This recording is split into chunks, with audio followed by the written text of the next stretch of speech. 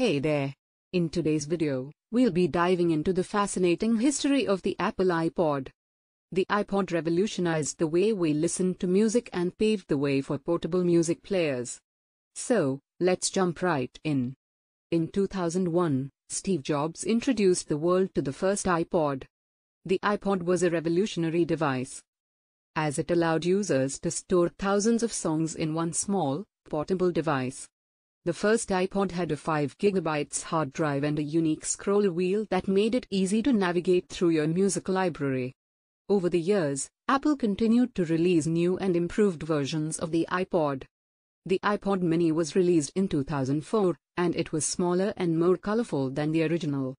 Then, in 2005, the iPod Shuffle was introduced, which was even smaller and more affordable.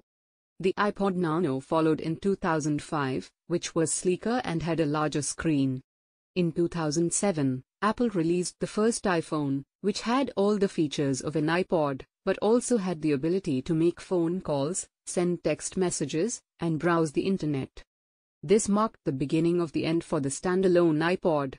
Although the iPhone replaced the need for a standalone iPod, the iPod's legacy lives on. It paved the way for portable music players and changed the way we consume music. The iPod's iconic design, with its click wheel and white earbuds, is still recognized and revered by many.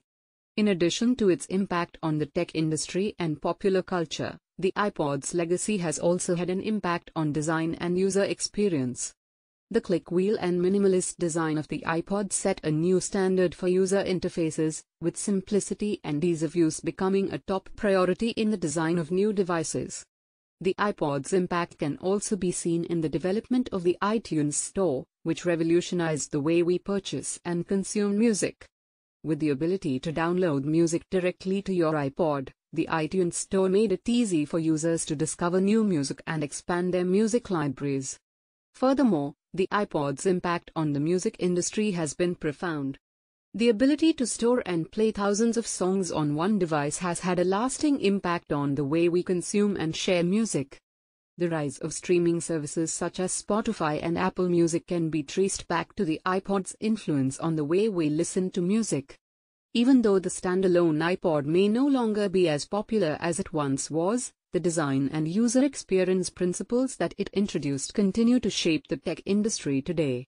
Apple's commitment to simplicity, ease of use, and minimalist design is still a cornerstone of its product philosophy, and the iPod played a significant role in shaping that philosophy.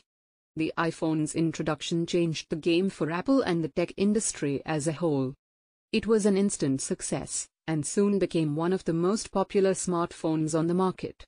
With its sleek design, touchscreen interface, and advanced features, the iPhone quickly surpassed the iPod in popularity and functionality.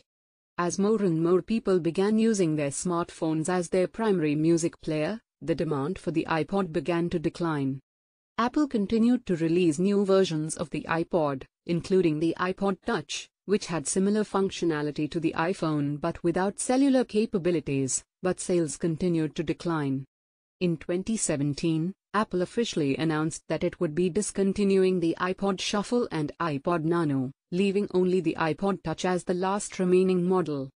While the iPod Touch still has a loyal fan base, it's clear that the iPod's heyday has come to an end. Despite this, the iPod's impact on the tech industry and popular culture cannot be denied. Its introduction paved the way for portable music players and changed the way we listen to music. The iconic white earbuds and click wheel design are still recognized around the world, and the iPod remains an important part of Apple's history. The iPod's impact on popular culture is also undeniable. In the early 2000s, the iPod became a cultural phenomenon. With the iconic white earbuds and sleek design becoming a symbol of the digital age. It wasn't just a music player, it was a fashion accessory and a status symbol. The iPod also had a significant impact on the music industry.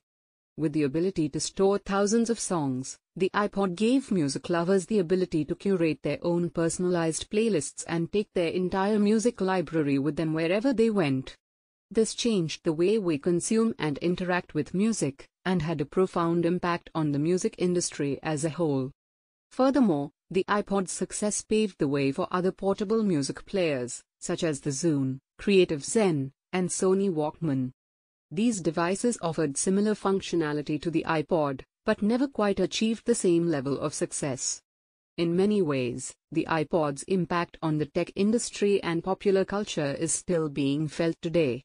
Its legacy can be seen in the design of modern smartphones, which often feature touchscreens and minimalist designs. The idea of having all of your music, photos, and other media in one place has become the norm, and it all started with the iPod. In conclusion, the iPod's impact on the tech industry, popular culture, design, and music consumption has been significant and lasting. Its legacy lives on, not only in the products that followed it but also in the way we interact with technology and consume media. The iPod will always be remembered as a groundbreaking device that changed the world of music and technology forever. Thank you for watching. Make sure to like and subscribe for more exciting videos like this one.